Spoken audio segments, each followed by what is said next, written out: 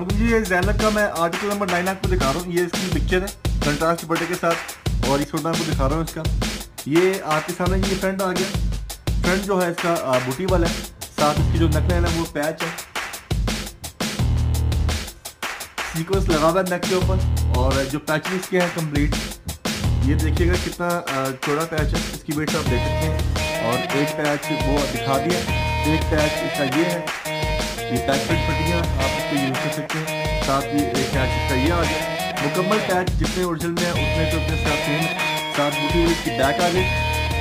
और उसके साथ में जो इसकी स्लीव है स्लीव इसकी बहुत प्यारी बनी हुई सीक्वेंस के साथ ये मुकम्मल स्लीव आप देख सकते हैं, मुकम्मल ये स्लीव आपके सामने है।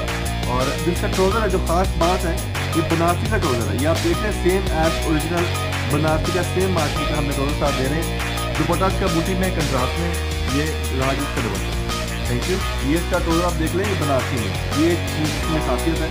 ये सेम टू सेम दी गई और ये राज इसका फ़ूड मुकम्मल food same to same thank you